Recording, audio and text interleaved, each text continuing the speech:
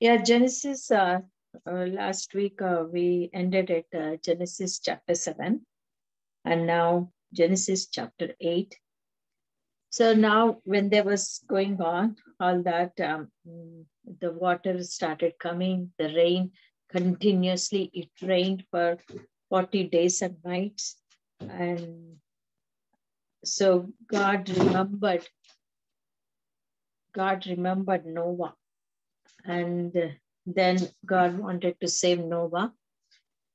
And you know how many ways the water was coming upon earth is it's from the sky, up from the sky, floodgates. The Bible says the floodgates opened from the sky.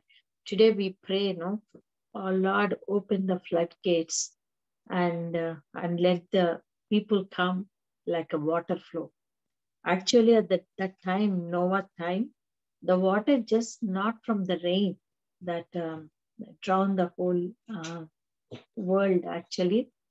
Extra water came from the sky. The floodgates were opened. That's what it says. And then from the deep, from the deep of the sea, you know, uh, from the oceans, from the deep also, it's open. The water came from the deep also. And plus rain 40 days and nights. So that's why the whole world actually drowned in the water. That much water. The water level was so high, even the mountains, they could not even see the mountains are also drowned. Okay. So um, then God remembered Noah and the, uh, and the family and so then what he did this, the rain stopped and God closed the floodgates there and God even shut this deep from the deep, the water flow. And God sent wind and wind started drying up, you know, all the water. And it took like a, a five months and the 150 days it says it means it's five months so at the end of the 150 days, you know, they could see that the water started decreasing. The water level started decreasing. And then at the 10th month, 10th month actually, um, he could see um, uh, the this ark was uh, reached the some mountain there. They could see a little bit of the top of the mountain started visible. then what he did is uh, uh, he opened the window and he sent out ravens, you know, uh, but uh, they were looking and uh, for a place to uh, like a rest, but they were not coming backward. They were just going roaming here and there. These ravens never came back, but what he did is he sent dove afterwards. And dove that if they don't find any resting place, they come back from where it was sent. So that's why he sent dove, black colored dove. And then it went and it came back again. So it means he could not find any place to rest. So he could, came back. And then he waited. Seven more days he waited. And then afterwards, he sent that uh, dove again out. And then this time it went and it brought a little uh, like a leaf, olive, freshly, fresh olive leaves in his beak. So he knew that, okay, the water started drying up. I think the trees, I think maybe the just the tip of the trees may be visible. That's why it got only a, a leaves. And then, so it kept for seven more days. He waited. And then after seven more days, again sent dove. This time, it never came back. So it means so water dried up over the land, also over the earth. Then that time God also spoke to him. Can open the door and come out. You know, so he opened the door, he came out. So he just imagine only his family on the whole face of the earth only Noah's family is there on the earth. It's just like in the beginning, like Adam and Eve, like that again. Only Noah's family this time. Then God said to them, you know, now you multiply, be fruitful, and occupy the whole land. Okay. And then um, Noah, Noah wife, and had three sons. And Shem, Japheth, and third one, Ham. You know, three sons. Okay, remember the names. So three sons and wives were there. So they, uh, and Noah was doing the farming at that time. And then uh, he planted um, uh, wine and he was taking care of that. And he got a wine out of it, you know, um, and then he drunk. He was fully drunk and he did not know, like he was even naked. He just laid naked in the in his tent. And you know the story there. Um, uh, before this, before going into the story, I forgot to tell you, God actually, you know, after all this flood and everything happened, God actually thought he he he felt very sorry about it, like a, you know, for what happened and how whole earth been destroyed, all that. So God wanted to make a covenant with Noah, to saying that, you know, never again I'll destroy this earth again. Never again, you know, because this time whole mankind was just killed, right? Was destroyed. So he wanted to make a covenant with Noah. Never again I bring water like this and destroy the whole earth. So um, as a sign of the covenant, he made that rainbow, rainbow to appear on the sky. That's why even till today, if any clouds were there, even the rain start, that comes, the rainbow comes.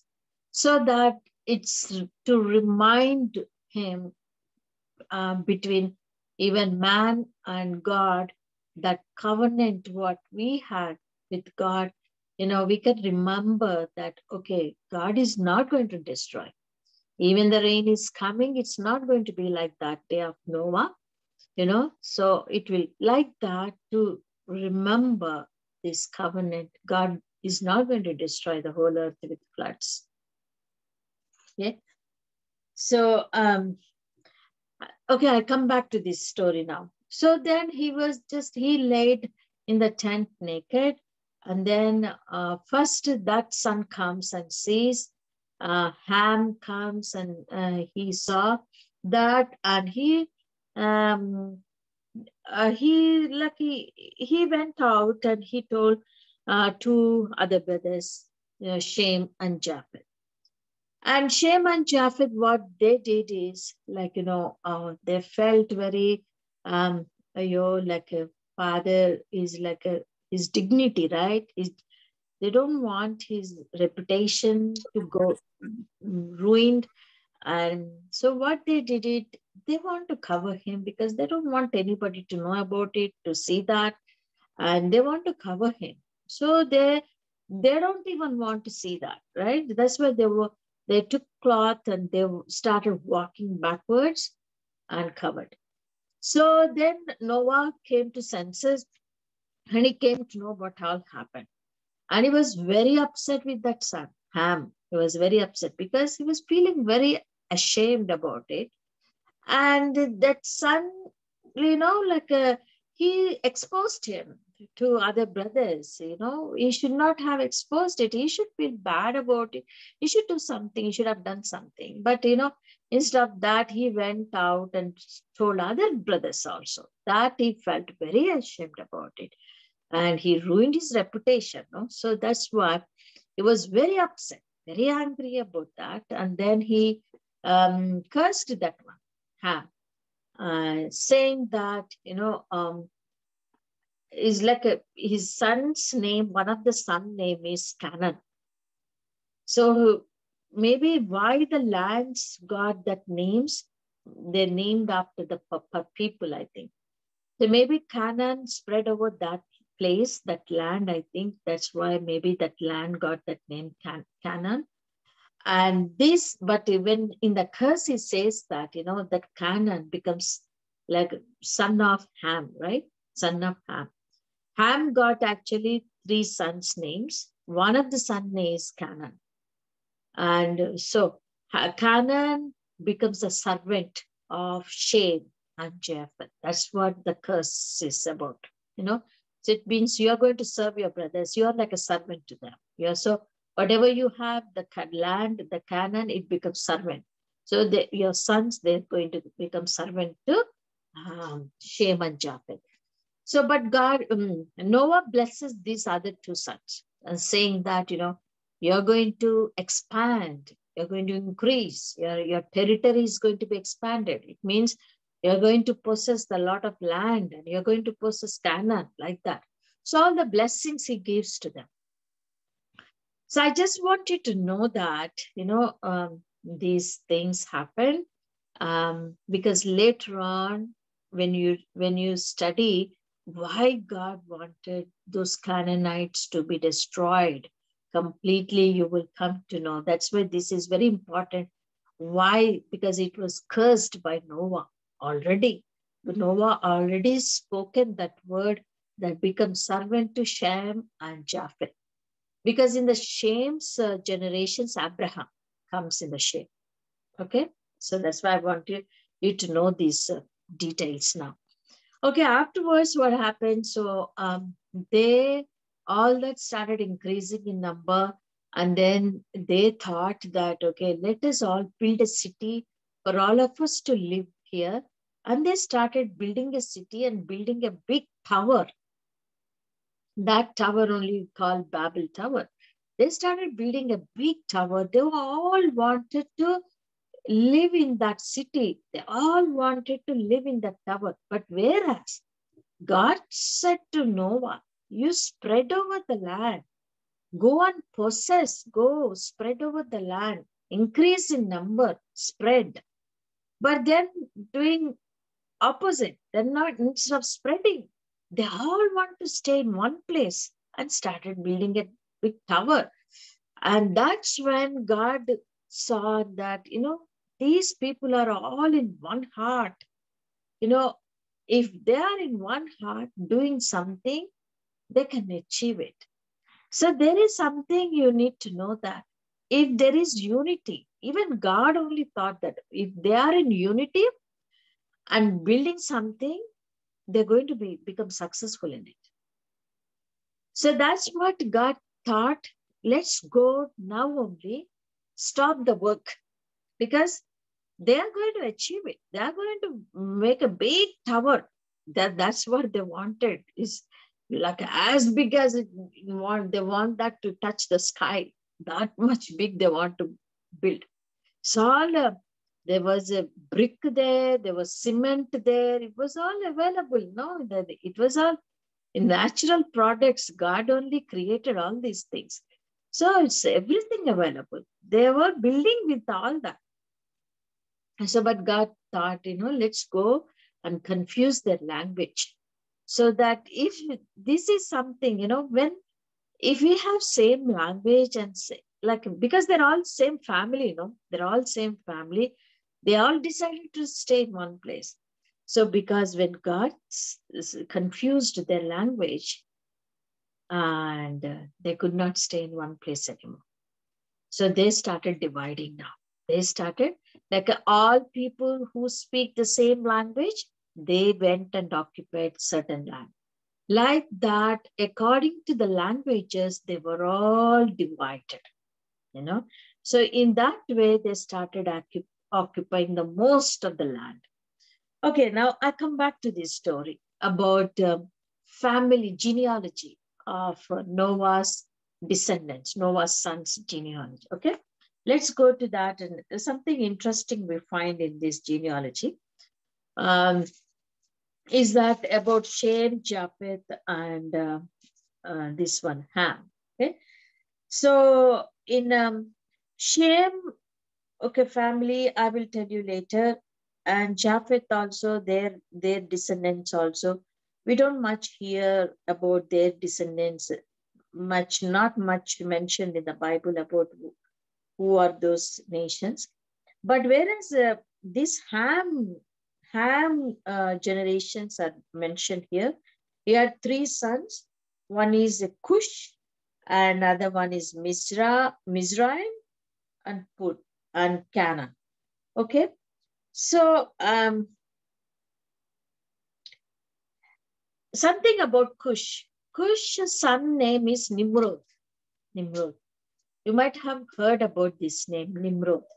He is a very powerful hunter that time. So, and he's a mighty man, powerful, a very strong, mighty one on the earth that time. You know, mighty hunter. And then he's uh, he he's built many cities that time. You know, one of the famous city we know is Nineveh.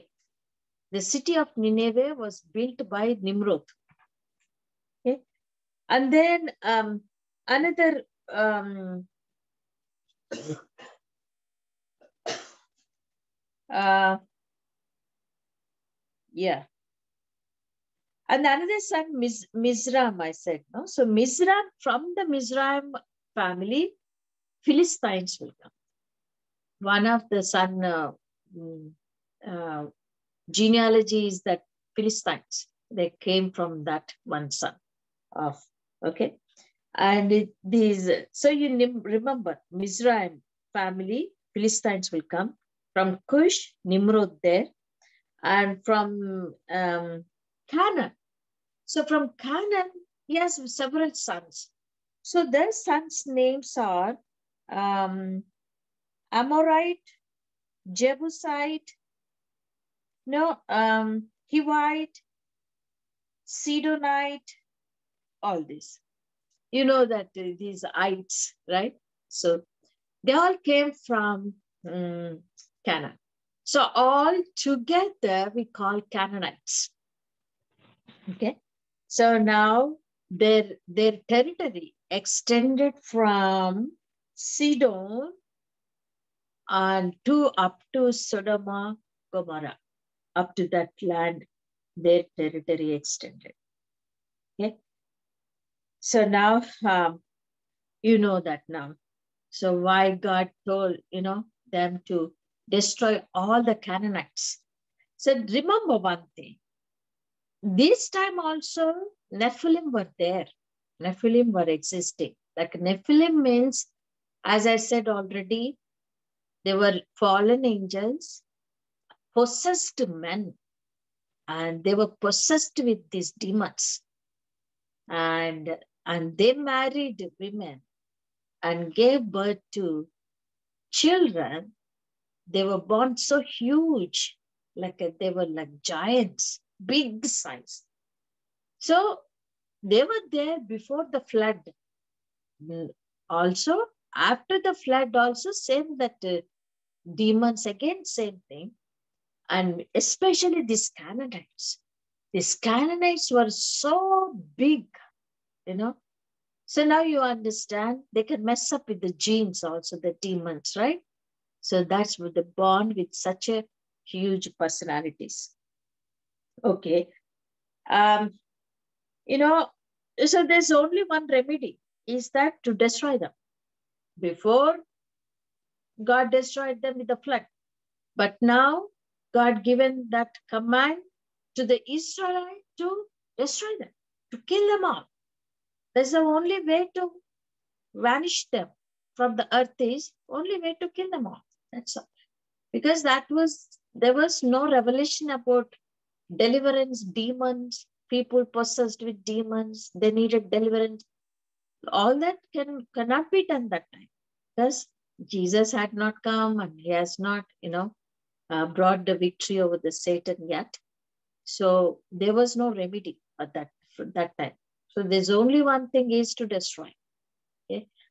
So um, then let's see the dissonance of Shem now. So Shem dissonance, you know, is interesting. So many, but I don't need to go through. You when you are reading, you can read all those names. But I'll start with here. Um, Terah, you know, in their family line, Terah. Terah is the father of Abraham. So Terah got uh, sons, um, Abraham and uh, um, Nahor. The other one is uh, Haran. So three sons Terah got. Okay. So Haran dies very young age, but Haran's son is Lot. And Nahor marries someone and settled there. Uh, but Abraham, no children. Sarah was there, no children. And but Lot's father died. So what Sarah does is he took grandson Lot and took Abraham and wife Sarah. And they set out the journey to go to Canaan. God asked them to go to Canaan and occupy because that was the already promise given to Noah. You know, already the Noah pronounced that blessing upon that Shem family that they're going to take Canaan. So then they set out that journey to go to Canaan, actually Terah. And then what happened? They reached to Haran name.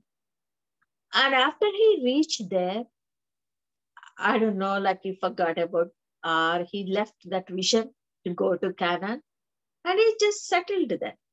Maybe he found everything, facilities, everything nice, maybe become comfortable there. And he got settled. Then God has to raise up someone else now because some people like that, they go in their vision halfway and they don't complete the vision and they settle with that they become satisfied with that. And somewhere along the line, they leave the vision. Then God will raise up someone else. So God raised up Abraham now. God spoke into Abraham. Now, this time God speaks to Abraham saying that leave your family. Leave your family, your relatives, and the country. You go there. See, Terah already distracted by the something. And God do not want Abraham to be distracted like that. So God told Abraham to leave everybody and go. Go to Canaan. But he says that very clearly. Relatives, he says, leave your relatives and go. But Abraham took relative Lot with him. You know, maybe Lot wanted to go with him. So anyway, Abraham, for him, is his nephew, right? He took a Lot with him, he took wife and all they have, the servants and flock, everything what they have, and they start going. Okay. Um, I think I'll stop here because uh, 12th is very important. I want to um, say this next week. Okay. So um, you can read I only covered important points.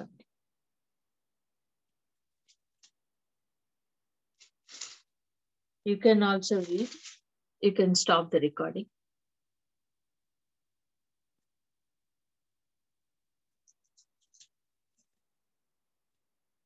Stop the recording.